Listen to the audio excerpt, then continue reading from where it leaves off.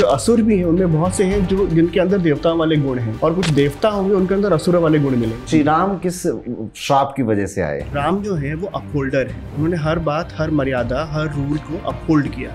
लेकिन जब वही विष्णु ये तो मैं भी पहली बार सुन रहा हूँ काफ़ी फैसिनेटिंग है। कहा जाता है कि वहाँ पे शंभाला में कल्कि का जन्म हो चुका है।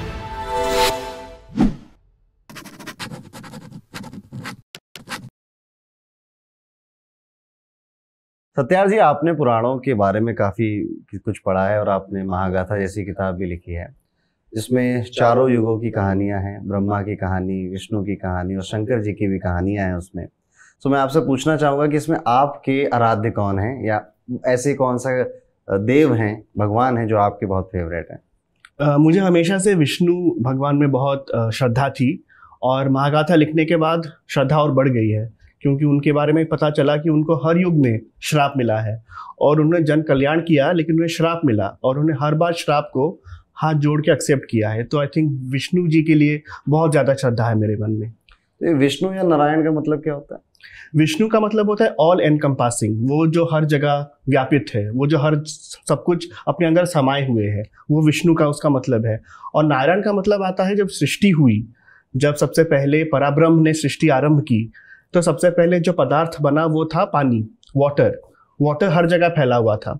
और पानी के ऊपर पराब्रह्म ने एक अपना रूप लिया स्वरूप लिया जिसको कहते हैं नर के रूप में लिया। तो क्योंकि पानी को कहा जाता है नर और वो जहाँ पर उन्होंने घर बनाया उसको कहता है आयन बोला जाता है। तो नर और आयन मिलकर नारायण बनी। तो यहाँ से नारायण नाम का नारायण नारायण। नारायण नारायण। भगवान विष्णु की हम बात कर रहे हैं तो अभी हम ऐसी कुछ कथाएँ जानना चाहेंगे जो कि हमारे पुराणों में लिखी है। हम्म। और हम में से बहुत सारे लोग ऐसी कथाओं को नहीं जानते उनके पीछे की मीनिंग को नहीं जानते। आपने बड़े अच्छे से बताया कि विष्णु का अर्थ क्या है नारायण का अर्थ क्या है।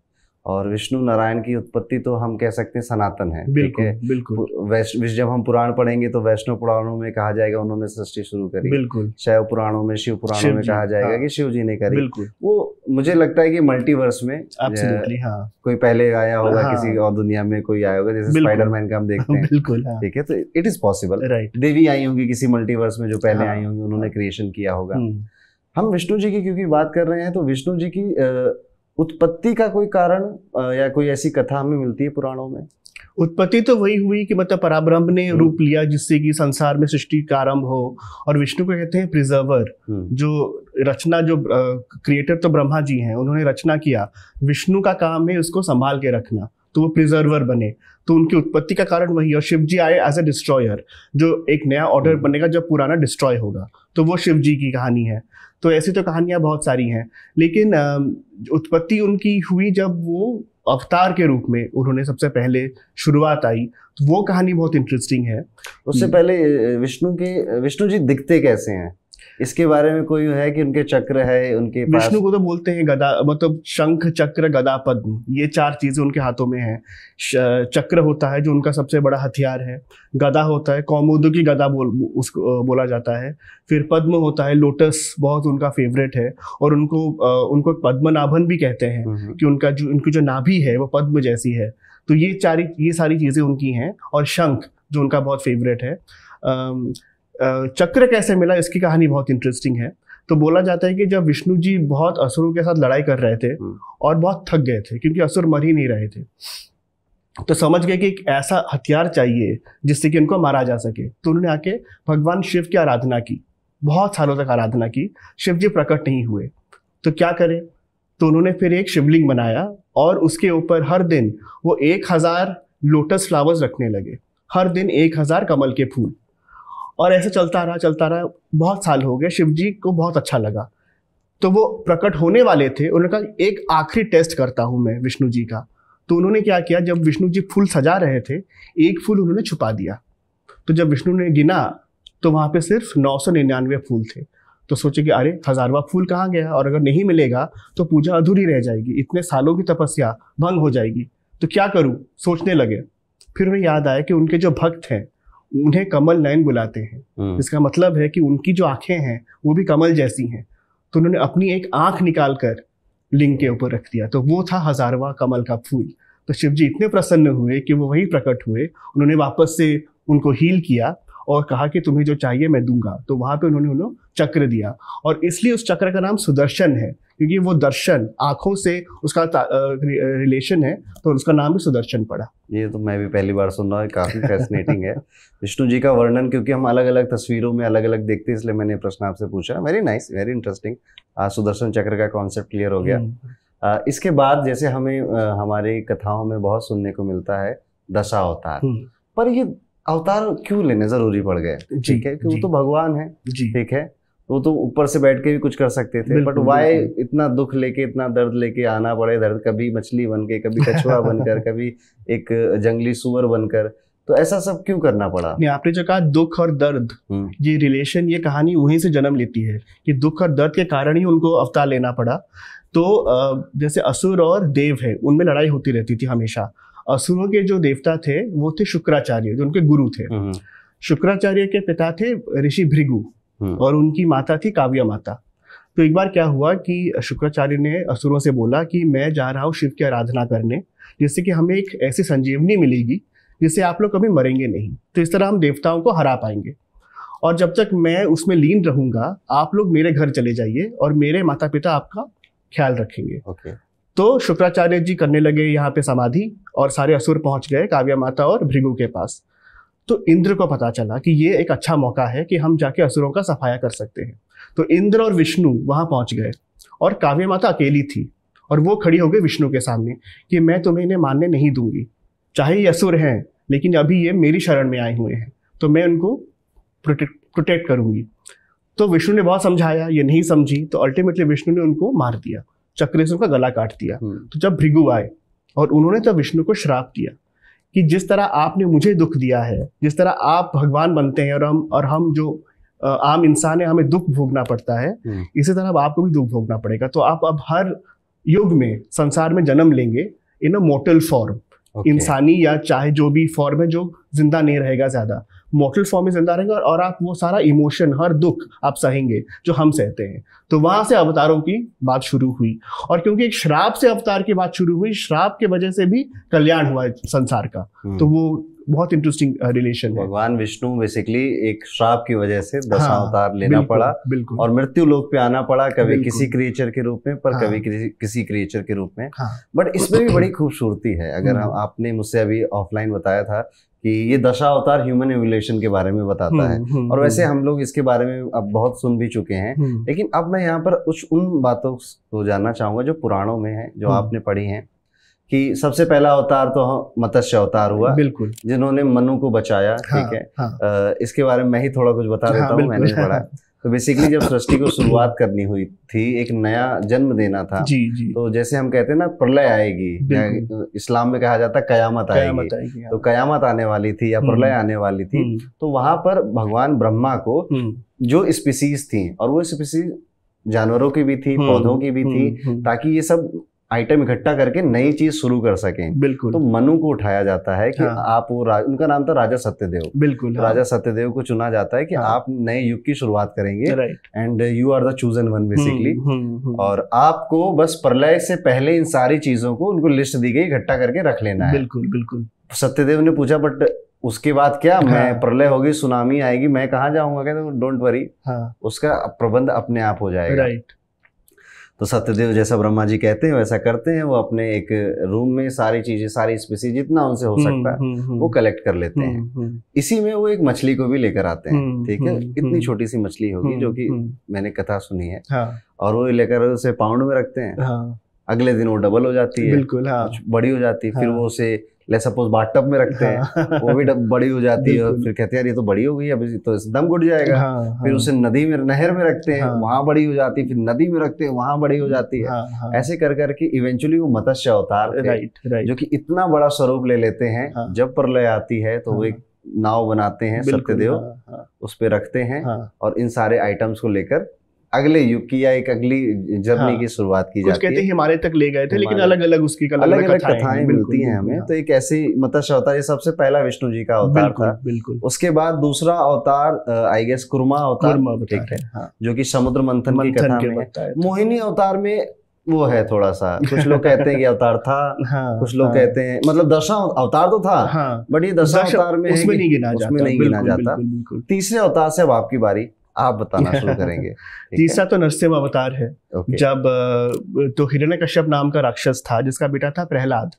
प्रहलाद बहुत भक्ति करता था विष्णु की। तो उसके पिता हमेशा नाराज़ रहते थे कि हम असुर हैं हम राक्षस हैं तुम हमें छोड़ के विष्णु की पूजा कर रहे हो। वो जिसने मेरे बड़े भाई हिरण्याक्षु का मारा था हम्म, हम्म, तो उसका वहाँ से भी उसका गुस्सा था। लेकिन प्रहलाद की भक्ति का कोई अंत नहीं था। हम्म। उसे वो हमेशा विष्णु की भक्ति में लीन रहता था। तो इस हिरण्य कश्यप ने कहा कि अब तुम्हें ज़िंदा नहीं रखा जाएगा। तो जितने उसने प्रयत्न किए, उसको मारने की, हर बार वो बचता गया। हर बार विष्णु ने उसकी जान बचाई। तो फाइनली उन्होंने कहा कि अच्छा अगर तुम इतना मानते हो विष्णु को, बताओ कहाँ है तुम्हारे विष्णु? मुझे तो दिखाई नहीं देते। मेरा कहते हर जगह है। ये जो पिलर है यहाँ पे, मेरे सामने स्तंभ है, इसके अंदर भी विष्णु है। तो बोला अच्छा तो उन्होंने जो है स्तंभ को मारा, वो स्तंभ टूटा और वहाँ से नरसिंह अवतार निकले। अच्छा हिरण्य कश्यप को एक वरदान दिया था ब्रह्मा ने कि तुम्हारी मृत्यु नहीं हो पाएगी। ना मनुष्य मारेगा तुम्हें, ना तुम्हें कोई जीव जंतु मार सकता है। ना तुम दिन में मर सकते हो, ना रात में मर सकते हो। ना तुम घर के अंदर मर सकते हो, ना घर के बाहर मर सकते हो। और ना तुम्हें कोई मेटल मार सकता है, ना तुम्हें कोई वुड की चीज़ मार सकती है। तो वो, उसने सोचा कि मैं अमर हूँ, जो इतने सारे कंडीशन है, ये फुलफिल हो ही नहीं पाएँगे। तो जब नरसिम उस रूप में आए तो इसी रूप में इसीलिए आए क्योंकि वो आधे इंसान थे और आधे सिंह थे। तो उनका पहला कंडीशन कंप्लीट हो गया। उन्होंने जब उसको मारा तो वो ना दिन था ना रात था वो था इवनिंग का टाइम तो वो कंडीशन पूरा हो गया। उन्होंने उसको अपने जांघों पे रख के मारा। तो तब तो वो ना तो धरती थी ना आकाश था ना हम्म। अंदर था ना बाहर था। और क्योंकि वो ना मेटल से मरेंगे और ना वुड से मरेंगे उसने अपने नाखूनों से उसका पेट चीर दिया। तो इस वजह से नरसिंह अवतार बने और उन्होंने उसको मार के प्रहलाद को मुक्ति दिलवाई। एक एक बड़ी फ़ेमस मूवी आई थी प्रहलाद में पुराने टाइम हम्म, की है। प्रहलाद। भक्त प्रहलाद हाँ। उसके बाद नरसिंह अवतार जब हिरणा कश्यप का वध करते हैं तो इस तरह से गुस्सा करते हैं हम्म। उनके मुँह से आग निकल रही है। एंड कोई उनको शांत नहीं कर पा रहा है। हाँ। और इसके बाद की भी एक कथा है जिसमें भगवान शिव आते हैं उनको शांत करने हाँ, ये बहुत लेसर नोन स्टोरी है कि नरसिंह क्योंकि मार के उनके अंदर इतना इतना क्रोध आ गया था कि वो पूरे ब्रह्मांड में घूमने लगे और हर सृष्टि को वो मतलब थ्रेट बन गए कि अभी कुछ भी कर सकते हैं। उनका गुस्सा शांत नहीं हो रहा था। कैसे शांत किया जाए? और कोई जा नहीं रहा था उनके पास। सबको भय लग रहा था उनके इस स्वरूप से। तो शिव जी को बोला गया कि आप ही शांत कर सकते हैं। तो शिव जी ने एक रूप लिया जिसको हम शरभ नाम से बोला जाना जाता है।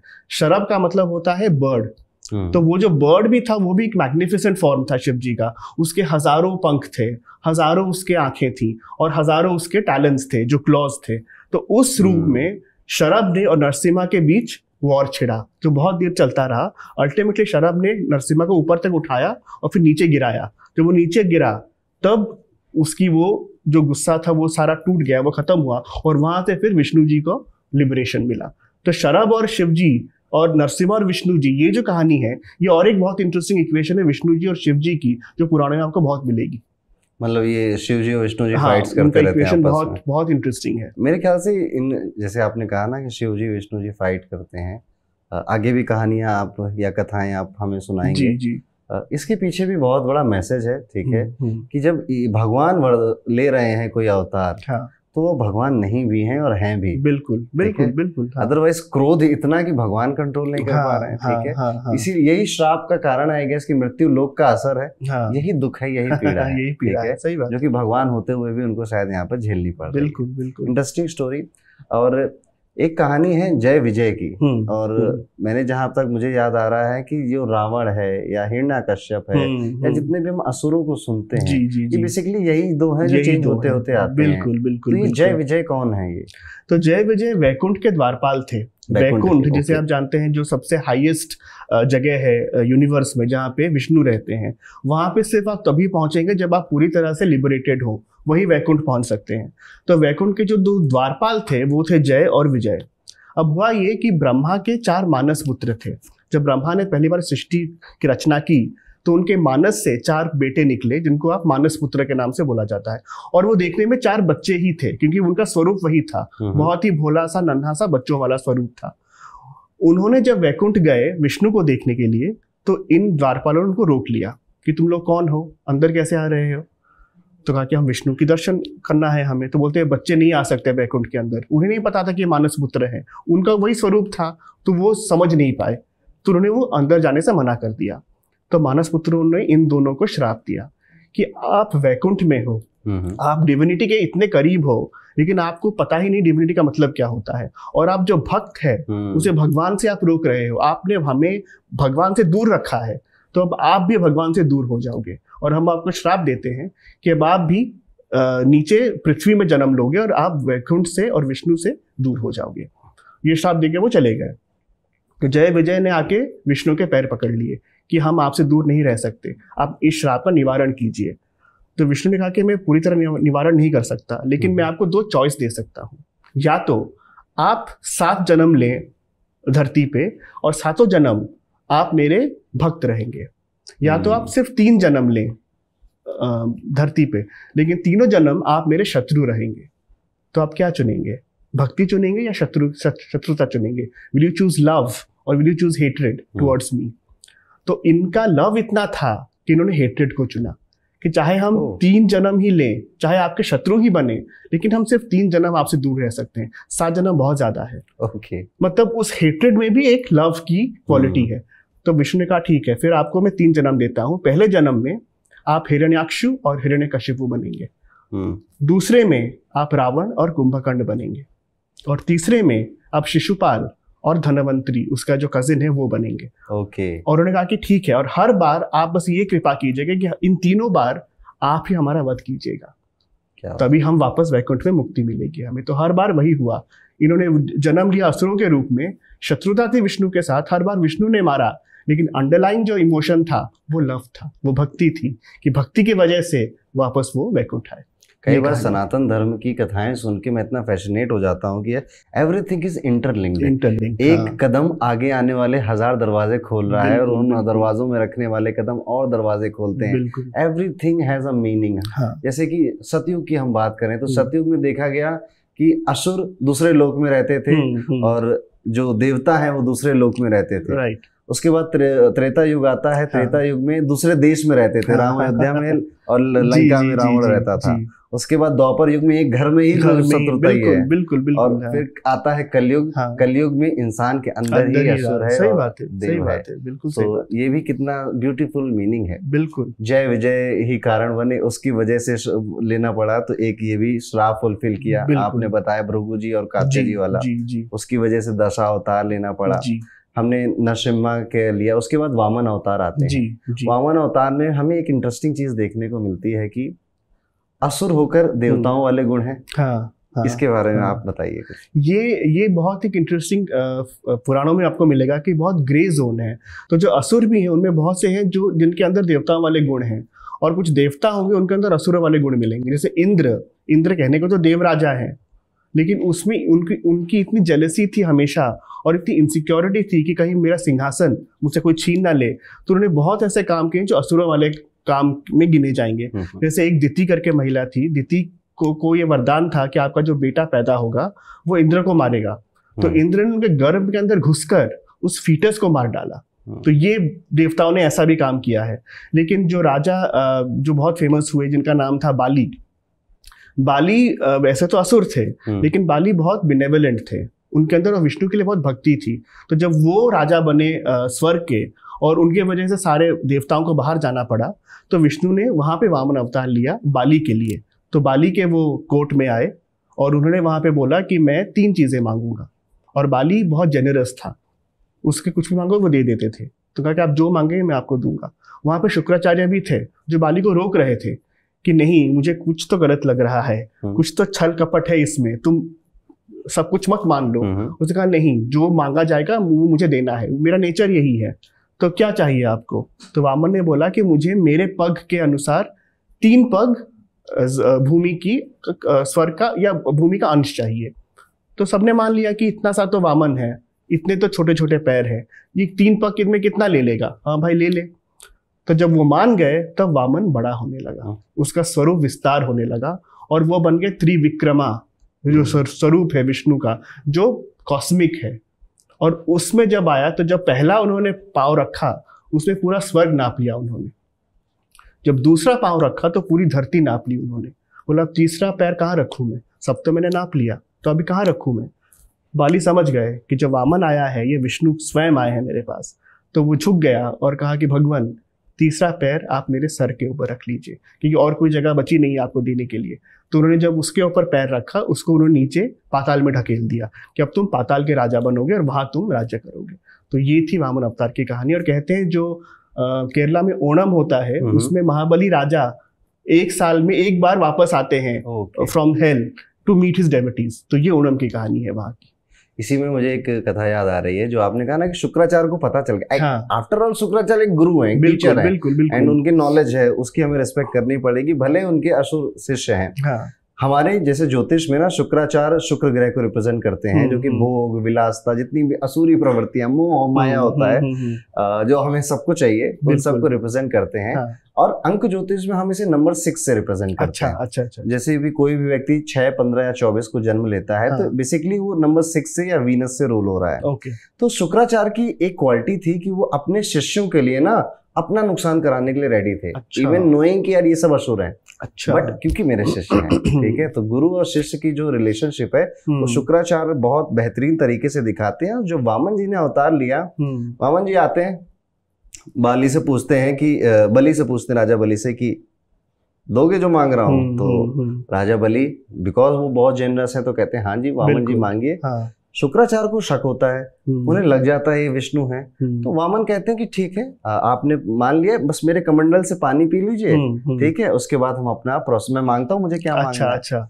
तो शुक्राचार्य बहुत छोटा सा रूप लेके उस कमंडल के नली में जाके बैठ जाते हैं ताकि ये बलि पानी ना पी पाए और ताकि ये चीज़ स्टार्ट ही ना हो। अच्छा अच्छा। आउट ऑफ़ जेनरेसिटी की मेरा शिष्य बच जाए हाँ, ठीक हाँ, है? हाँ, हाँ.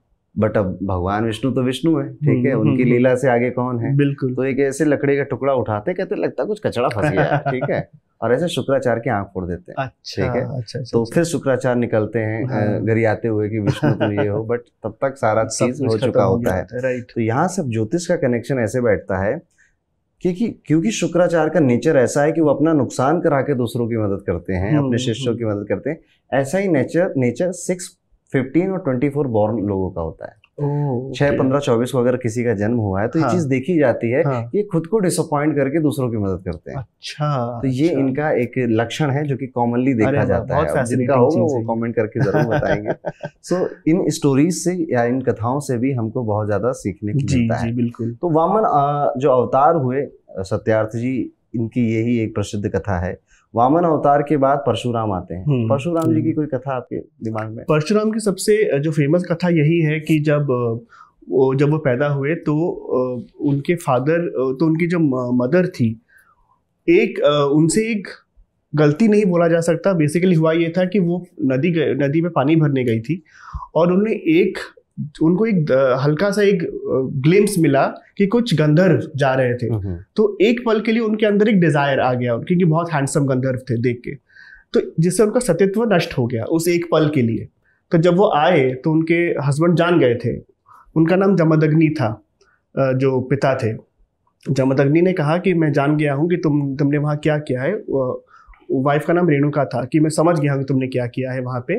और मैं अब उनके चार बेटे थे, सबसे छोटा था परशुराम, कि चारों को बोला कि अपने माता का सर काट दो। तो पहले तीनों ने बोला, आप क्या, कितनी क्या भयंकर बात कर रहे हो? हम कैसे बेटे हो के अपनी ही माता का सर काट सकते हैं? लेकिन जो परशुराम था, उसने बिना कुछ बोले, बिना कुछ हुए, एक झटके में वो काम कर दिया। और जब पिता ने कहा, तुमने कैसे क्या बोला? ये आपका आदेश था और पुत्र होने के नाते ये मेरा कर्तव्य था। तो वहाँ पे बहुत खुश हुए अपने बेटे पे, कहा कि जो चाहे मांग लो। कहते मेरे माता को आप फिर से जीवित कर दीजिए। तो माता फिर से जीवित हुई और उन्होंने कहा कि उसका नाम वैसे राम था हम्म। लेकिन जब वो जिस जिससे काटा था वो परशु था। तो वहाँ से शस्त्र है। कुल्हाड़ी के जैसे। तो वहाँ से उसका नाम परशुराम पड़ा। तो वहाँ से फिर आगे कहानियाँ बढ़ती हैं। जब जमदग्नि को एक राजा होते हैं जिनको जमदग्नि के पास कामधेनु नाम का गाय होता है हम्म। जो हर चीज़ दे सकता है विश फुलफिलिंग जिसे बोलते हैं। तो उसे लेने के लिए एक राजा ने आके पूरी की पूरी जो हर्मिटेज है जो पूरा आश्रम उसको जला के सबको मार के वो गाय को छीन के ले गए थे। तो परशुराम ने वहाँ से प्रण लिया कि जो क्षत्रिय हैं जो जो वो हैं जो अपना पावर का मिसयूज करते हैं हम्म। इनको मैं धरती पर रहने नहीं दूँगा। तो उन्होंने सबसे पहले उस राजा को मारा जिसने अपने उनके सारे परिवार को मारा था और 21 बार परशुराम जी ने क्षत्रियों का नाश किया है। और बोलते वो जो सारा खून जमा हुआ था जितना ब्लडशेड हुआ था वो खून एक जगह आके जमा हो गया। और वहाँ पे पाँच लेक्स बने जिनका नाम पंच तत्व या कुछ ऐसा नाम आता है। और उसी जगह को बाद में वो मिट्टी इतनी लाल हो गई कि वहीं पे कुरुक्षेत्र की लड़ाई आगे जाके हुई थी। Okay. तो उसी जगह पे श्यामत पंचक उस नाम का बोला जाता है। श्यामत पंचक। हाँ, ये भी मैं पहली बार ही सुन रहा हूँ ठीक है। वही मैं कह रहा हूँ ना एवरीथिंग इज़ इंटरलिंक इसलिए हम एक फ्लो में आगे बढ़ रहे हैं। सो so, परशुराम जी वैसे तो एक ऐसे भगवान है या ईश्वर है जो कि हमें त्रेता युग में भी दिखते हैं जब श्री राम जी का वहाँ पे विवाह हो रहा हाँ, होता है हाँ, सीता जी हाँ, के साथ। हाँ, और हमें द्वापर में भी दिखते हैं जब वो भीष्म से युद्ध करने आते हैं भीष्म ने युद्ध में हरा देते हैं। तो ये चिरंजीवी हैं हाँ, परशुराम जी जो कि हर युग में है और अभी भी कहीं होंगे। बिल्कुल बिल्कुल। ऐसे सात चिरंजीवी बोले जाते हैं। जी। अक्षय जी। से हम बात कर रहे थे पॉडकास्ट कर रहे थे तो उनके साथ ही हमने चिरंजीवी वाला डिस्कस किया था। वहीं से मुझे ये पता भी चली वहीं से ये हम्म, बात। हम्म, हम्म। तो परशुराम जी हो गए उसके बाद हमारे दो आते हैं जो कि इष्ट हम कहेंगे कि बहुतों के इष्ट देव हैं। सबसे पहले श्री राम आते हैं। जी, जी, श्री राम किस श्राप की वजह से आए? तो राम जी के बारे में बहुत कथाएँ हैं और उसमें श्राप का भी बहुत इंपॉर्टेंट रोल है। एक कहानी है वृंदा की। हम्म। तो उसमें कहानी ये है कि वृंदा के जो हस्बैंड थे वो राक्षस थे। जलंधर नाम था उनका। और वृंदा डेवटी थी विष्णु की। और वृंदा इतनी बड़ी डेवटी थी तो उसका जो सतित्व था, उस सतित्व की वजह से जलंधर को कोई मार नहीं पाता था। उसका जो पावर था, उसी से आता था। अपनी वाइफ के सतित्व की वजह से वो इनविंसिबल था। तो फिर देवता ने कहा कि इसको अगर मारना है, हराना है तो हमें वृंदा के सतित्व को नष्ट करना पड़ेगा। अब ये काम कौन करेगा? तो विष्णु को बोला गया कि आप क्योंकि उनके इष्ट देव हैं, ये काम आपको करना पड़ेगा। तो विष्णु ने बहुत ही हिचकते हुए लेकिन उनको पता था कि अब जन कल्याण की वजह से ये करना है। तो वृंद विष्णु वृंदा के पास गए जलंधर का रूप लेकर। तो इधर देवता जलंधर के साथ लड़ रहे हैं बैटल फ़ील्ड में और वृंदा के लिए घर पे और विष्णु वहाँ पे गए जलंधर का रूप लेकर। हाँ। और वहाँ पे उसका सतित्व नष्ट किया। तो जैसे ही वो वहाँ पे वो हुआ जलंधर यहाँ पे मर गया। तो वृंदा समझ गई कि कुछ तो गलत हुआ है। तो जब विष्णु अपने रूप में आए तो वृंदा ने श्राप दिया। कि आप मेरे इष्ट देव थे अगर आप मांग लेते तो मैं वैसे ही दे देती आपको। लेकिन आपने जो मुझे छला है दूसरे का रूप लेकर छला है मैं आपको दो श्राप देती हूँ। एक तो ये कि जिस तरह आपने रूप बदल कर मुझे छला आगे जाके आपकी स्त्री को भी कोई रूप बदल कर आके छल के ले जाएगा जो रावण आता है। हाँ। और जिस तरह आपने मुझे अपने प्यार से अलग कर लिया आपका प्यार भी आपसे अलग हो जाएगा। तो सीता तो आगे रामायण में जो रावण आके छलता है और सीता को राम से दूर कर देता है वो श्राप यहाँ से कनेक्शन यहाँ पे है उस कहानी की। एक और इसकी कथा है कि नारद ऋषि की कथा है हाँ, हाँ, हाँ, वो भी कनेक्टेड है इसके साथ। तो एक बार नारद जी एक स्वयंवर में गए जहाँ पे एक बहुत ही खूबसूरत प्रिंसेस का स्वयंवर हो रहा था। उसको पता नहीं था कि वो एक्चुअली लक्ष्मी जी हैं वो किसी दूसरे रूप में थी। तो नारद जी को उनसे प्रेम हो गया। तो दौड़ते हुए आए विष्णु जी के पास। कि मुझे इनसे विवाह करना है लेकिन मैं इतना सुंदर नहीं जितनी की सुंदर वो है। हम्म, तो आप हम्म। मुझे सुंदर अपनी तरह सुंदर कर दीजिए। मुझे आप हरि जैसा मुख दे दीजिए। okay. अब हरि का मतलब तो है विष्णु जी हम्म। लेकिन हरि का और एक मतलब है बंदर। तो विष्णु जी ने उनका मुँह बंदर जैसा बना दिया। वापस चले गए। उस वक्त वहाँ पे कोई शीशे तो थे नहीं तो उन्हें पता नहीं चला कि लोग मुझे देखे क्यों हंस रहे हैं। जब हंसने लगे जब वो राजकुमारी भी हंसने लगी उसके ऊपर तब उन्होंने पानी में देखा कि उनका मुँह बंदर जैसा हो गया था। तो वहाँ पे नारद जी ने विष्णु को श्राप दिया कि आपको ऑलरेडी वृंदा ने श्राप दिया हुआ है कि आपका जो प्यार है आपसे अलग हो जाएगा। और अगर आपको उसको प्यार को वापस लाना पड़ेगा आप वो तभी पा पाएँगे जब एक बंदर आपकी सहायता करेगा। हाँ। तो ये जो आगे चल के हनुमान का जो रोल है हाँ। उसका बीज यहाँ डाला गया था इस कहानी के माध्यम से। Everything is well plan everything is connected उसके बाद श्री राम का जन्म होता है श्री राम को यहाँ पर भी कैकेयी का श्राप मिलता है तो श्राप के अंदर भी एक श्राप मिलता है जिस वजह से वनवास जाते हैं। और कहा जाता है कि राम वन गए इसलिए बन गए। ठीक है? और हमको सिखाया जाता है कि आपको भी अगर जीवन में सफल होना है तो हाँ। अपनी अयोध्या यानी अपने कंफर्ट को छोड़ना पड़ेगा अच्छा। और लंका जीतने लंका के लिए संघर्ष करना पड़ेगा। बीच में कई मानर आएँगे आपका साथ देंगे और फिर आप अपनी लंका को विजय करेंगे हाँ। तब आपकी सफलता आएगी। तो आप एक राजा से मर्यादा पुरुषोत्तम राम बनेंगे। ओके तो इस पूरी रामायण की कथा का जो एसेंस है वो ऐसे समझा जा सकता है। बिल्कुल बिल्कुल। वानर उनका साथ देते हैं। इवन वानर नहीं कहूँगा मैं आ, जटायु एक हाँ, गिद्ध हाँ, है हाँ, वो भी हाँ, उनका साथ देते हैं। हम्म। उसके बाद जामवंत है लीच है। काफ़ी सारे पशु उनका साथ देते हैं। बिल्कुल। ये तो है रामायण की कथा जो कि त्रेता युग में है। और यहाँ पर दोपहर का बीज बोया गया। बिल्कुल, बिल्कुल। इसके बारे में आप बताइए। तो बहुत फ़ेमस एपिसोड है रामायण में बाली और सुग्रीव। जहाँ पे हाँ। राम पेड़ के पीछे छुप के जब दोनों भाइयों में युद्ध चल रहा है राम पेड़ के पीछे छुपते हैं और छुपते हुए वो तीर मारते हैं। जिससे बाली की मृत्यु हो जाती है तो वहाँ पे बाली राम को श्राप देते हैं कि जिस तरह आपने पेड़ के आड़ के पीछे छुप के मुझ पर वार किया जबकि मैं युद्ध कर रहा था किसी और के हम्म। साथ उसी तरह आपकी मृत्यु होगी द्वापर युग में तो आगे जब कृष्ण की का, का मृत्यु का समय आता है तो वो भी उसी तरह पेड़ के नीचे बैठ जाते हैं और वेट करते हैं कि जो जरा नाम का जो शिकारी है, वो भी उनके पैर को एक समझता है कि शायद किसी हिरन का कान है।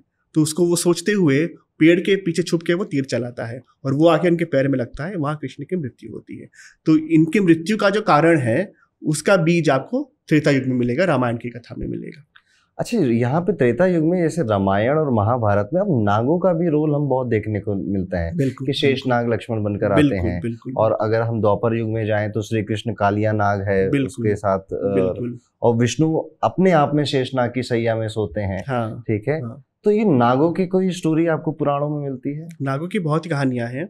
एक जो बहुत इंटरेस्टिंग कहानी है कि नागों की जो माता थी उनका नाम था कड्रू। और उनकी एक बहन थी विनाता। हम्म। विनाता के कोई बच्चे नहीं होते थे तो विनाता को बहुत दुख होता था। तो विनाता को ब्रह्मा ने दो अंडे दिए हाँ। कि तुम्हारे बेटे यहाँ से निकलेंगे। तो जब तक ये अंडा फूटेगा तुम वेट करो पेशेंस रखो। अब विनाता रोज अंडों को देखती थी कुछ निकल ही नहीं रहा था। ऊपर से कड्रू के हज़ार नाग वाले पुत्र थे तो उसको बहुत जलेसी होती थी अपने बच्चों से। तो उसने एक अंडा क्या किया उसने इम्पेशंस में खुद ही फोड़ दिया। तो वहाँ से एक हाफ़ फॉर्म्ड लड़का निकला। उसने कहा कि तुमने तुमने वेट नहीं किया मेरे लिए और मेरी तुम्हारी वजह से मेरा शरीर हमेशा आधा ही रहेगा। हाँ। तो मैं तुम्हें श्राप देता हूँ कि जब तक तुम अगर तुम इस अंडे तक को वेट नहीं करोगी तो तुम्हें कभी कोई बेटा नहीं मिलेगा। ये कह के वो चला गया वो नदी बन गया। इस अंडे के लिए वो वेट करती रही करती रही फाइनली एक दिन वहाँ से गरुड़ निकले।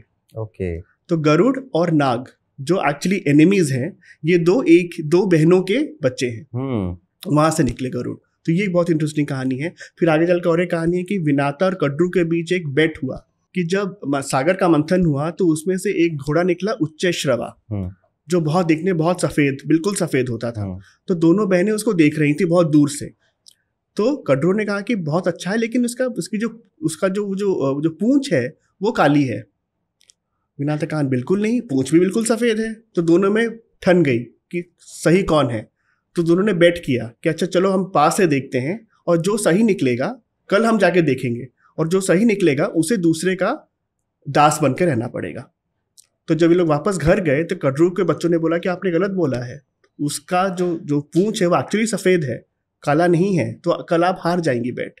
तो कटरू ने अपने बच्चों से कहा कि एक काम करो, तुम सब नाग हो ना, कल सुबह जब मैं जाऊँगी विनाता के साथ, उससे पहले तुम पूंछ के चारों तरफ़ लिपट जाना। ताकि वो काला ही लगे और मैं जीत जाऊँगी। तो मान गए। तो जब दोनों बहनें गईं तो पूछ काला दिखा। तो फिर विनाता मान गई कि भाई मैं गलत थी। तो वो फिर कड्रू की दास बन गई। और जब गरुड़ पैदा हुए उस अंडे से पैदा होने के बाद उन्होंने अपने माता को छुड़वाया वहाँ से लेके। तो ये बहुत इंटरेस्टिंग कहानी है नागों। की और गरुड़ की वजह से। जो शुरू से ही उनकी एनिमिटी है वो इसी हाँ। वजह से। तो जैसे गरुड़ पुराण भी है हाँ। आपने पढ़ा है गरुड़ पुराण? नहीं गरुड़ पुराण नहीं पढ़ा मैंने। गरुड़ पुराण में कहा जाता है कि काफ़ी रहस्यमयी है और हाँ, उसमें हाँ, काफ़ी सजाओं के बारे सजाओं में के बारे में है बिल्कुल। जो एक अपरिचित मूवी आई हाँ, थी हाँ, हाँ, उसमें जो सजाएँ दिखाई एक्चुअल में वो कुंभी पाकम है। कुंभी पाकम ये सारी चीज़ें गरुड़ पुराण में लिखी गई क्रीमी भोजनम। तो ये सारी चीज़ें गरुड़ पुराण से ही उठाई गई थी वहाँ पर। और गरुड़ की एक बड़ी इंटरेस्टिंग कथा है जो कि ये समझाती है कि जो होना है वो होके रहेगा। हम्म, जैसे हमारे हम्म। ज्योतिष में भी ये बोला जाता है हम्म। कि जो इवेंट कुंडली प्रोडिक्ट कर रही है कि आपका एक्सीडेंट अगर लेस सपोज़ होना है तो ये होकर रहेगा ठीक है? आप उसके लिए उल्टे खड़े हो जाओ या कितने भी उपाय कर लो आप उस इवेंट को से को संवार सकते हो। हम्म। यानी कि लेस सपोज़ आपका बहुत भयंकर एक्सीडेंट होना था तो अब वो छोटे में कन्वर्ट हो जाएगा बट वो इवेंट उस समय पे होगा ज़रूर। अच्छा अच्छा। इवेंट बदल नहीं सकते उसे रोक नहीं सकते। अच्छा। एक बार की बात ऐसी है कि विष्णु भगवान गरुण जी के साथ शिव जी से मिलने जाते हैं और वहाँ पर एक महफिल सी सजी होती है बाकी सभी देवी देवता भी आए होते हैं, यमराज भी आए होते हैं। यमराज बड़ी देर से टुकटुकी लगाकर एक पक्षी को देख रहे होते हैं। तो गरुण को लगता है यमराज इसको देख रहे हैं इसका हम्म। मतलब आज इस पक्षी की मौत है। हम्म, हम्म, अब Garun being a bird king of bird उन्हें लगता है कि मेरे रहते हुए मेरी बर्ड को कोई कैसे नुकसान पहुँचा हाँ, सकता है। हाँ, हाँ। तो गरुण इधर उधर देखते हैं उसको पक्षी को पकड़ते हैं उसको बहुत तेज गति से उड़ते हुए दूर एक जंगल में पेड़ पे छोड़ आते हैं। अच्छा। और फिर वापस चले आते हैं रिलैक्स होके कि आज मैंने एक पक्षी को यमराज से बचा लिया। यमराज देखते हैं कहते हैं थैंक यू गरुण। कहते हैं अरे थैंक यू किस बात का थैंक यू कहते हैं मैं उस पक्षी को इतनी देर से देख रहा था और ये सोच रहा था कि इसकी मौत तो करोड़ों किलोमीटर एक पेड़ पे बैठ के एक नाग अजगर इसको चबाएगा वैसे होनी है। पर मैं सोच रहा था वहाँ तक पहुंचेगा कैसे? तो इतने तेज उड़ नहीं पाता है। हाँ। तो तुमने वो पहुँचा दिया इसलिए थैंक यू सो मच तो जब हम चीज़ों को बदलने की सोचते हैं तो हम बेसिकली उस इवेंट के होने का कारण बन जाते बन हैं। जाते हैं। सही और एक मूवी आई है प्री डेस्टिनेशन मतलब बहुत हम्म। पुरानी मूवी है। हम्म, हम्म, उसमें इस कॉन्सेप्ट को बहुत अच्छे से समझाया गया है जो कि हमें गरुण की कथा से मिलता चलता है। लेट सपोज़ आप पास्ट और फ्यूचर में जा सकते हैं तो आपको लगेगा कि मेरा फ्यूचर में एक्सीडेंट हो रहा है हाँ। या पास्ट में एक्सीडेंट हो रहा है हाँ। मैं जाके उसको चेंज कर देता हूँ। हाँ। बेसिकली आप उस एक्सीडेंट का कारण बन कारण बन जाते हैं। बिल्कुल, बिल्कुल। ये भी हमारे जो ग्रंथ हैं पुराण हैं हाँ। इनमें इतना साइंटिफिक है। कॉस्मोस के बारे में बताया गया है क्वांटम फिजिक्स के बारे में बताया गया है जिसमें बहुत सारे पॉडकास्ट किए जा सकते हैं। हमने रामायण में श्री राम की कथा सुनी और रामायण में मर्यादाएँ बनाई भगवान श्री राम ने और हम्म। श्री कृष्ण ने उन मर्यादाओं को चैलेंज किया। हम्म, इसके हम्म। बारे में कुछ बताइए। ये बहुत इंटरेस्टिंग इक्वेशन है राम और कृष्ण को अगर आप देखें दोनों विष्णु के स्वरूप हैं। लेकिन राम जो है वो अपहोल्डर है। उन्होंने हर बात हर मर्यादा हर रूल को अपहोल्ड किया। इस वजह से उन्होंने बहुत दुख भी झेले चाहे वो सीता माता से दूर होना हो या आगे जो भी उनके जो भी थे लेकिन वो हमेशा से अपहोल्डर थे। लेकिन जब वही विष्णु द्वापर युग में कृष्ण बन के आए तो ही वॉज़ दी अप्रूटर तो जो अपहोल्डर था वो अप्रूटर बन गया। हर लॉ को चैलेंज किया गया हर रूल को तोड़ा गया। चाहे महाभारत का वॉर ही आप देख लो जिस तरह उनका ये थॉट था कि एक चीज़ को दस तरह से आप इंटरप्रेट कर सकते हैं। हम्म, हम्म। तो उनका जो ये जो दो अलग अलग स्वरूप हैं एक ही भगवान के क्योंकि उनका युग भी अलग था। त्रेता युग में जो आपका शत्रु था वो आपके घर के बाहर था। हम्म। आप यहाँ हैं शत्रु आप अयोध्या में शत्रु लंका में है। बाद टाइम आप महाभारत युग में आते हैं द्वापर में तो जो वैल्यूज़ है इतनी ख़राब हो गई हैं कि अब शत्रु आपके घर के अंदर ही आपके हाँ। अपने ही आपके शत्रु बन गए हैं। तो हर युग के हिसाब से विष्णु अपने आप को ढालते रहे। तो जहाँ पे अपहोल्डर बनना था वहाँ पे राम ने अपहोल्ड किया जहाँ अपरूटर बनना था कृष्ण ने अपरूट किया। और एक बहुत इंटरेस्टिंग सिम्बोलिज्म अगर इसमें आप देखें राम सूर्यवंशी थे। तो जो सूर्य होता है वो एक तरह का ही रहता है। उसमें कभी आप चेंज नहीं नोटिस करेंगे। हम्म, हम्म। उसका जो उनका सूर्य का शेप जो है सन का वो स्टेबल रहता है। वैसे ही राम भी स्टेबल थे। कृष्ण जो थे वो चंद्रवंशी थे। चंद्र का रूप बदलता रहता है।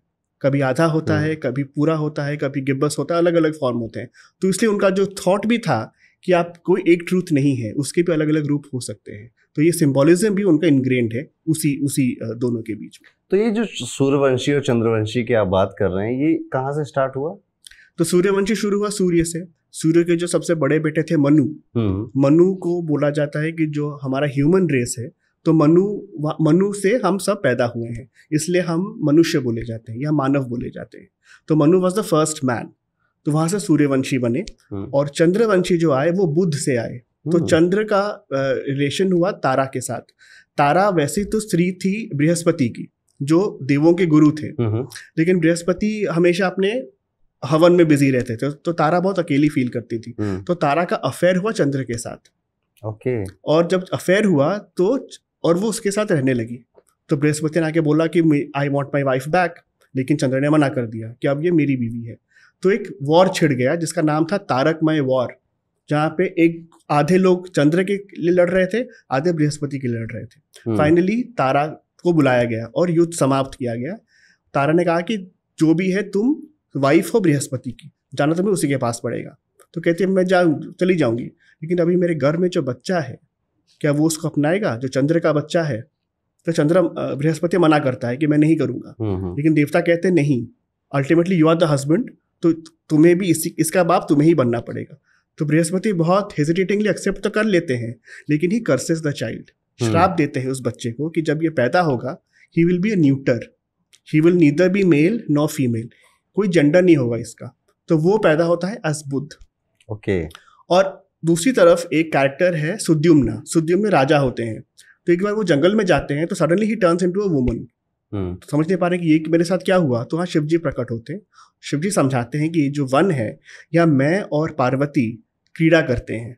तो मैंने यहाँ पे ये माया बनाया हुआ है कि अगर कोई भी मेल uh, एनिमल या ह्यूमन अंदर आएगा तो he will not be he should not seek Parvati in that form जब हमारी क्रीड़ा चल रही है। तो वो इमिडिएटली फीमेल बन जाएगा। तो तुम्हारे साथ वही हुआ है। कहते लेकिन मैं तो राजा हूँ।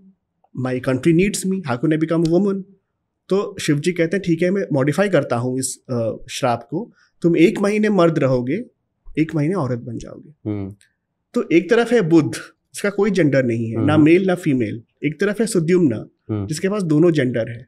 वो as a male he Sudyumna as female he becomes Ila Ila तो इला और बुद्ध की शादी हो जाती है। और यहाँ से चंद्रवंशी डायनेस्टी शुरू होती है। यहीं से शायद एलजीबीटी कम्युनिटी का जो एक सेंस हाँ, है जो हमें पुराणों में बिल्कुल तो एक जो मेंशन है यहाँ से भी आपको मिल जाएगा मेंशन जो मतलब जो कि मतलब पुराण भी कितने फ्यूचरिस्टिक थे कि हम्म। हज़ारों सालों पहले की राइटिंग है ये। और वहाँ पे हम बात कर रहे हैं जेंडर की और you know all of that और इस वजह से जो आप देखोगे तो स्टेबिलिटी ऑफ़ जेंडर की क्योंकि यहाँ पे स्टेबिलिटी नहीं है जेंडर्स की तो चंद्रवंशी जो इथॉस है वो हम्म। भी है कि इसमें कोई स्टेबिलिटी नहीं है। You can interpret it in different ways तो जब कृष्ण चंद्रवंशी बन के पैदा होते हैं उनका थॉट यही है कि एक चीज़ को आप हज़ार तरह से इंटरप्रेट कर सकते हैं। तो ये थॉट यहीं से आता है। यहाँ पे आपने बुद्ध की बात करी चंद्र की बात करी बृहस्पति की बात करी है ये सब मेरे डोमेन में आते हैं थोड़े थोड़े तो जिस तरह से आपने कहा ना कि बृहस्पति अपनी पूजा या विधि विधान इतना व्यस्त रहते हैं कि वो अपनी वाइफ को समय नहीं दे पाते हाँ। और ये एक्चुअल में हम्म। जिसकी ज्योतिष की कुंडली में बृहस्पति बलवान है ऐसा व्यक्ति ना ऐसा ही होता है किसी पूजा पाठ और वैराग्य में बड़ा मज़ा आता अच्छा, है अच्छा, तो ये अच्छा। अपने घरेलू कामों में इतनी दिलचस्पी रखता नहीं है अच्छा। बृहस्पति ये कहते हैं कि मेरे वाइफ मतलब बृहस्पति एज अ प्लेनेट ये कहता है कि हम्म। मेरा वाइफ बनने के लिए या मुझको प्राप्त करने के लिए भी आपको बहुत शुद्ध होना पड़ेगा क्योंकि मैं आप लोगों से बहुत ज़्यादा शुद्ध हूँ। अच्छा ठीक है? अच्छा, अच्छा, तो मेरा फेवर अच्छा। और मुझे प्राप्त करने के लिए आपको बहुत सदाचार फॉलो करना पड़ेगा। इसलिए जब ज्योतिष में उपाय बताए जाते हैं बृहस्पति को स्ट्रॉन्ग करने के लिए तो उसमें ये पहला उपाय है कि यू शुड फॉलो सदाचार। आपको सदाचारी जीवन जीना पड़ेगा बृहस्पति को खुश करने के लिए। अच्छा, अच्छा, अच्छा, अच्छा. तो ये बृहस्पति की है चंद्रमा हम्म। में आपने बताया है कि वो चेंज होता रहता है। दैट इज़ वाई चंद्रमा को अंक ज्योतिष में नंबर टू से रिप्रेजेंट करते हैं। अच्छा। Two eleven twenty and twenty nine को जो बॉर्न है हम्म। ये अपने अंदर एक चीज़ ये पाएँगे कि इनके इमोशंस भी अप एंड डाउन ज़्यादा होते हैं फ्रिक्वेंटली मूडी नेचर जिसको हम बोलते हैं वो हम्म, देखने को मिलता है। अच्छा। और बुद्ध को ज्योतिष में भी न्यूट्रल माना जाता है। ये असुरों का भी दोस्त है ये देवताओं का भी दोस्त अच्छा, है। अच्छा, तो अच्छा, प्लैनेट्स के बेसिकली दो भाग होते हैं। हाँ. ग्रुप ए जिसमें हम बेनिफिक प्लैनेट्स बोले जाते हैं हम्म। जिसमें शुक्र आता है और ग्रुप बी जिसमें हम थोड़े से शनि मंगल ऐसे अच्छा, अच्छा. पर मरकुरी इसको बीच में रखा जाता है। ये इधर भी आ सकता है ये इधर भी आ सकता है बीच में भी रह सकता है। तो बुद्ध ऐसा भी माना जाता है। ज्योतिष के यही कॉन्सेप्ट हैं जो कि पुराणों से ही आई गेस लिए गए हैं। और आपने 29 की बात की तो मेरा बर्थडे 29 अक्टूबर है। हम्म, हम्म। तो शायद इसी वजह से चंद्र मुझ पर भी हावी है तो, तो चंद्रवंशी तो हम चंद्रवंशी हुए हमारे भी अप डाउन होते रहते हैं मूड्स बहुत सही बात है। जी हाँ। सो हम श्री कृष्ण पे वापस आएँगे ठीक है? तो आपने कहा श्री कृष्ण चंद्रवंशी है और यहाँ पर एक सूर्य पुत्र कर्ण भी हैं। बिल्कुल। तो क्या वो सूर्यवंशी में आएँगे? हाँ क्योंकि उनके पिता तो सूर्य ही थे। ओके। तो और शायद इसीलिए आपने मुझे शायद ऑफलाइन बताया भी था कि कर्ण क्यों अलग हुए पांडवों हाँ, से? हाँ, क्यों उनका ये बहुत इंटरेस्टिंग फैक्ट है क्योंकि अगर अगर आप देखें महाभारत में तो वेद व्यास ने जब ये लिखा कि हम्म। कुंती के पास ये पावर आया कि वो किसी भी देवता का वर्ण कर सकती थी तो उन्होंने सूर्य को ही क्यों चुना हम्म। किसी और देवता को भी बुलाया जा सकता था लेकिन सूर्य आया क्योंकि कर्ण जब सूर्यवंशी बना क्योंकि जो पांडव व कौरव थे जो कुरुवंश था वो चंद्रवंशी था तो अपने बर्थ से ही Karna was ineligible to rule तो वहाँ से that is the reason why he was made Suryavanshi कि चाहे वो आगे कुछ भी हो चाहे वो सबसे बड़ा बेटा ही क्यों ना हो क्योंकि वो वंश अलग है उसका तो वो राजा कभी बन ही नहीं पाएगा। तो उसका वहीं से वेद व्यास ने उसका बर्थ से ही उसको इन एलिजिबल बना दिया टू रूल तो ये वहाँ से उसका थॉट है। महाभारत में तक हम आ चुके हैं। महाभारत कहीं ना कहीं भाइयों की कहानी है। बिल्कुल। ठीक है? एक तरफ़ कौरव हैं जो भाइयों के सौ भाई हैं एक हम्म। तरफ़ पांडव हैं पाँच भाई हैं। हम्म। पांडवों में भी कर्ण भी उनका भाई है। और भाई भाई से नहीं मिल पाते। तो कहीं ना कहीं ये वॉर ऑफ़ ब्रदर्स भी है महाभारत।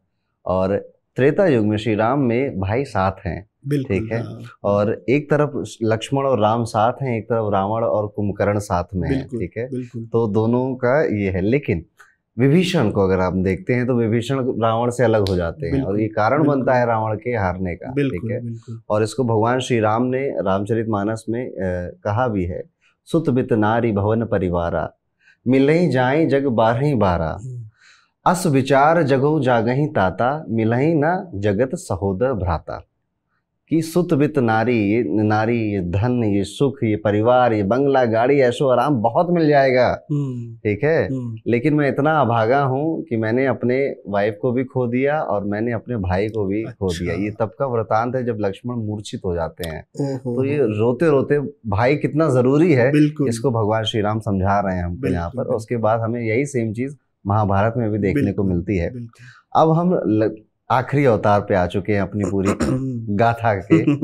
और वो है कि दसवां अवतार यानी कि कल की अवतार। इसके बारे में अभी तो कल की पुराण है ठीक हाँ, ठीक है? हाँ। बट ये जैसा आपने कहा ना कि ये होगा ऐसा हम्म, होगा वैसा हम्म, होगा। हम्म, तो कुछ इसके बारे में रिसर्च में आपको पता चला हो। तो कल की तो जैसे आपने कहा प्रिडिक्शन है कि बोलते हैं आखिरी अवतार है जब ये अवतरित होंगे। तो कलयुग का अंत होगा सतयुग दोबारा से शुरू होगा जो हमारा पूरा युग है हमारा साइक्लिक टाइम कॉन्सेप्ट है पुराणों में। तो जब चार युग एक के बाद एक आते रहते हैं तो कलकी के आने से ही नया सतयुग दोबारा से आएगा। तो ये तो प्रिडिक्शन हो गया। लेकिन मुझे बहुत इंटरेस्टिंग चीज़ मिली जब मैं रिसर्च कर रहा था एक पर्टिकुलर वेब सीरीज़ जो हम कर रहे हैं उसमें कलके का मेंशन होता है। तो एक रिसर्च में पता चला कि जो टिबेटन माइथोलॉजी है वहाँ की टिबेटन में एक जगह का नाम है शंभाला जैसे हमारे यहाँ वैकुंठ है जहाँ पे सिर्फ़ सबसे जो लिबरेटेड हैं जो सबसे ज़्यादा ब्लेस्ड लोग हैं वो जा सकते हैं। उनका शंभाला वैसा ही है जहाँ पे सबसे ज़्यादा the blessed of the blessed सिर्फ़ वही आपको वहाँ मिलेंगे। तो कहा जाता है उनकी मान्यता ये है कि वहाँ पे शंभाला में कलकी का जन्म हो चुका है और अब वो वहाँ बड़े हो रहे हैं और वहाँ अब वो तैयार हो रहे हैं। क्योंकि जो मान्यता ये भी है कि जब कलकी पैदा होंगे तो जितने बाकी जो सारे चिरंजीवी हैं वो उनका साथ देंगे। तो ये उनके अकॉर्डिंग ये शुरू हो गया है प्रोसेस ऑलरेडी उनका जन्म शंभाला में हो चुका है तो अब उनकी मान्यता ये है। वेरी इंटरेस्टिंग चार युगों की गाथा श्राप हम्म। की गाथा ये है महागाथा। इंटरेस्टिंग है ये। सो so, हमने विष्णु जी के सभी फॉर्म्स को डिस्कस किया and thank you so much Satyarth ji. आपने ब्यूटीफुली कई सारी ऐसी कथाएँ हमें सुनाई जो कि मुझे भी नहीं पता था और आई एम श्योर हमारे ऑडियंस में भी बहुत सारे लोगों को नहीं पता होगा। जी, जी, जी. इस एपिसोड को हम यहाँ पे एंड करते हैं ठीक है? और हम आपको दोबारा ज़रूर बुलाएँगे जिसमें हम शिव जी के बारे में और उनकी श्रापों और उनकी गाथाओं के बारे में बात करेंगे। Thank you so much thank you thank you Radhe Radhe.